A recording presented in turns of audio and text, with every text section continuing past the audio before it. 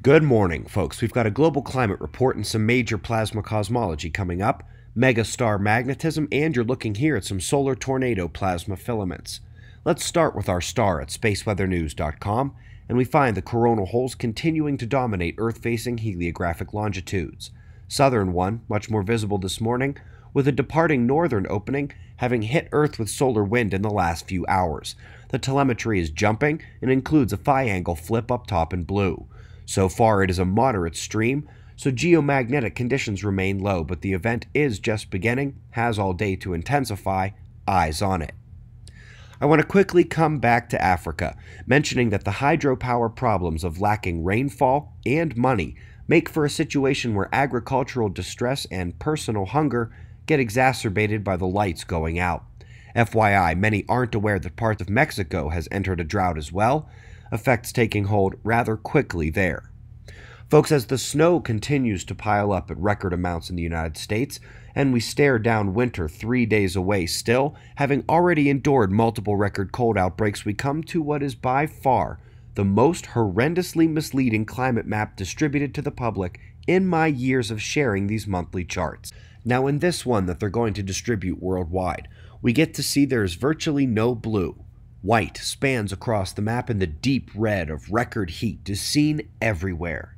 Now, here is the temperature deviation map. Folks, literally all those white areas went blue. The deep red disappeared at mid latitude and jumped north. And the blue area, well, obviously deepening and expanding as well. It is worth noting that with Earth's magnetic field weakening, the northern polar cusp plasma intrusions should indeed be making the Arctic warm faster than anywhere else, which, if you think about it, makes no sense if it's caused by low latitude atmospheric chemistry.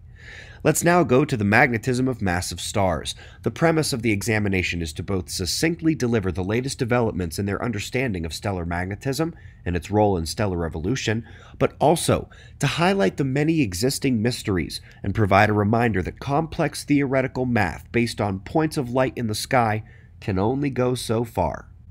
And now, folks, get ready to have the answer to the missing mass problem, including the galactic rotation problem, made obvious, and we'll begin by summarizing with what we know up to now. We've already seen that the lost light of Hubble discovery puts tons of normal matter halos around galaxies where dark matter halos were supposed to be, and that material is co rotating with the galaxies and is fed by filaments from the cosmic web that they themselves form spiral helix shapes. Folks, we not only have the mass out there in the right place, but its motion dynamics feed into the system. Now, here is one of Hubble's deepest shots of a faraway galaxy. All we knew was there. And now, here's ALMA in radio waves. Folks, the amount of material we've thought exists in the cosmos is and has always been a pitifully under-inclusive guesstimation. The halos extend five times further out than the stars. They cannot explain the appearance of these massive structures or why they cling to the dark matter halos in light of them. And to basically give you an idea, this is how we think of the Milky Way, but the halo around it wouldn't come anywhere close to fitting on this page around it here. In fact, we'd have to go to something a bit more like this if we wanted to accurately state the cloud around the cosmic city, and again, it would still bleed off the page. Now, Let's take this one step further that missing mass we can't see.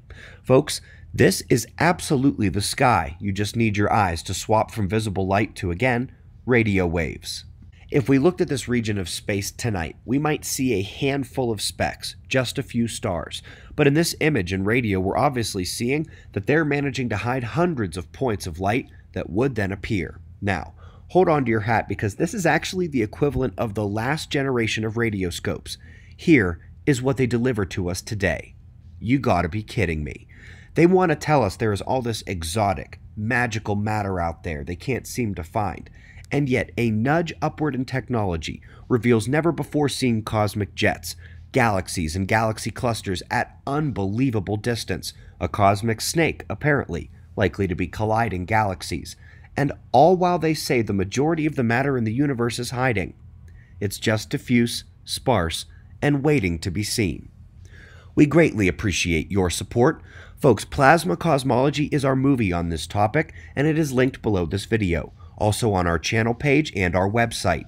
The right cosmology not only opens the door to free energy and interstellar travel, but it's the foundation of both Earth's catastrophe cycle and solar climate forcing.